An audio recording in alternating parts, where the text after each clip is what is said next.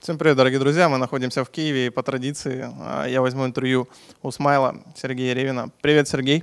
Привет. Я не буду спрашивать, как у тебя дела или как погода в Киеве. Давай перейдем сразу к вчерашнему дню. Вы одолели IC и сделали это достаточно а, легко. Но сегодня IC показали зубы в игре против Quantic. Как ты думаешь, это недочет Quantic, либо IC начали играть лучше? Ну, мне кажется, из-за замены Блэка на Сокшку у них игра стала менее вариативной. Вот, они не могут ходить на хардлинию, не могут что-то придумывать, как любит Габлак это делать. Вот, им приходится играть на Блэка, что вот идти только на Easy Lane, брать ему там трех-четырех героев, на которых он постоянно играет. И, наверное, вот эта замена повлияла. Я обратил внимание, что в этот раз вы не практиковались перед Старладером несколько дней а в, кибер, э, в киберарене, собственно, у нас здесь. С чем это связано? Либо вы настолько в себе уверены, а, либо а, вам просто все равно? Да нет, нам не все равно. Практика была в онлайне. К чемпионату вроде все готовы.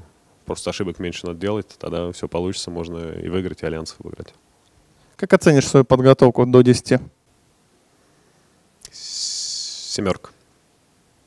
Я думаю, очевидно, что к International хотите набрать десяточку. Ну вот, собственно, по поводу International.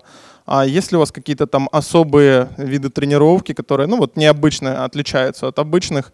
И а, в целом, на, насколько вот вы настраиваетесь на International? Ну, понятно, что это важнейший турнир для всех. Но вот что-нибудь необычное, а, что вам дает International такого необычного, что вот меняется в ваших там тренировках или... Ну, ты... ну делайте какие-нибудь заготовки, вот как мы сделали, это чуть-чуть про, увеличили, ап апгрейдили стратегию альянсов, вот это с Рошаном, который мы недавно в онлайне делали.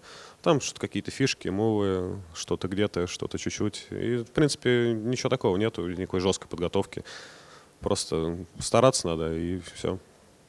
Как обстоит вопрос с визами на International? Вопрос, наверное, который интересует всех.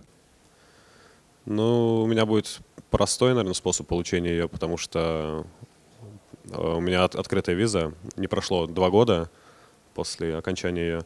А ребята, я буду надеяться, что всем дадут с первого раза, что не будет никакого кипиша, не будет нервов перед как раз поездкой. Потому что выезжать надо числа 30 или 29, по-моему.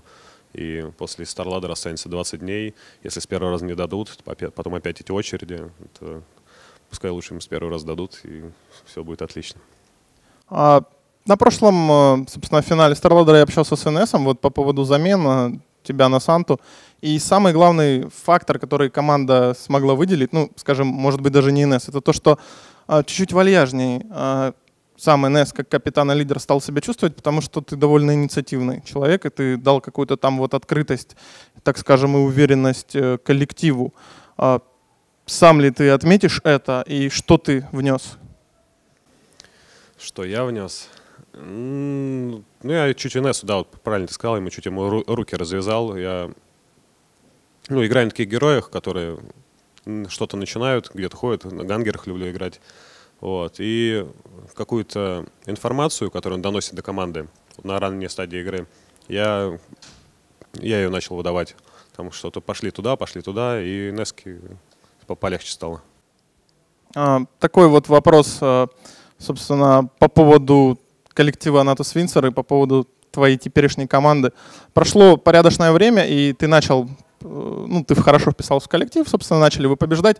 А чувствуешь ли ты сейчас себя как рыба в воде? И вообще, сравнивая атмосферу в Нави атмосферу сейчас, вот и что ты можешь сказать на этот счет?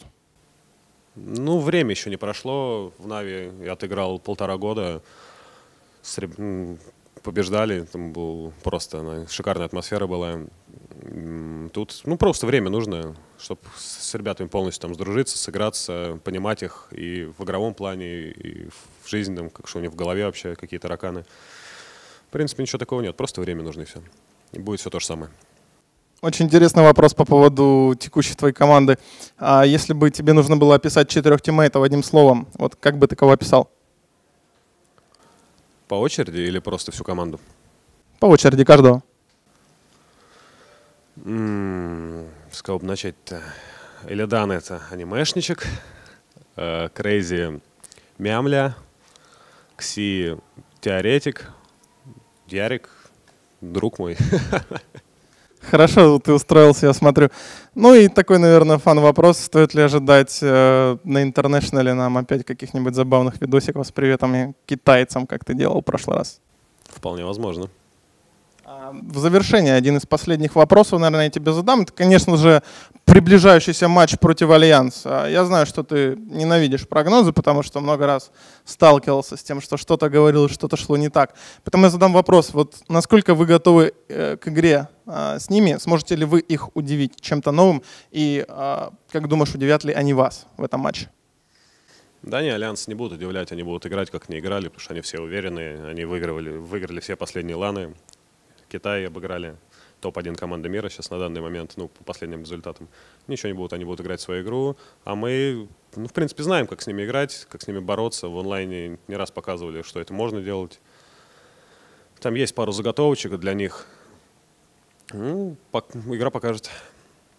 Замечательно. Ладно, Сергей, спасибо большое за интервью. Время, наверное, приветов э, фанатам, комьюнити, спонсорам, да кому угодно. Ну, привет друзьям, девушки, болельщикам, спонсорам BenQ и BlackBerry, партнерам нашим великолепным. Привет менеджеру, привет там, кейсерам, привет Снегу. Всем привет, всех люблю. Еще раз спасибо и удачи в матче.